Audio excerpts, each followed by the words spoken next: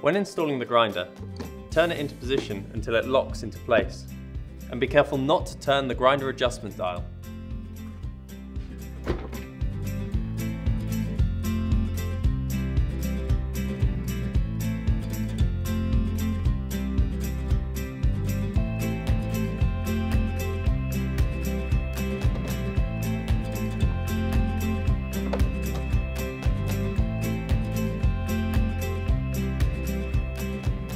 With the hot water light on and the water tank light flashing, this indicates that we need to flush water through the system.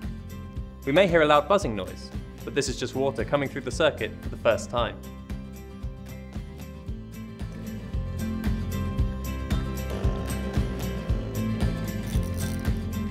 Now we need to rinse the circuit.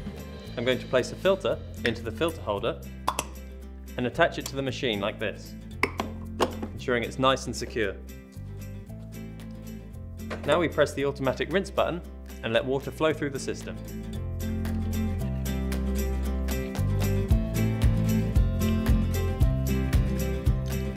Now we're going to rinse the steam circuit.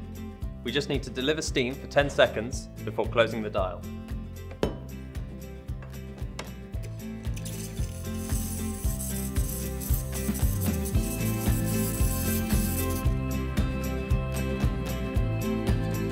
I'm going to repeat the process until the water tank is half full. Then I'll refill the tank.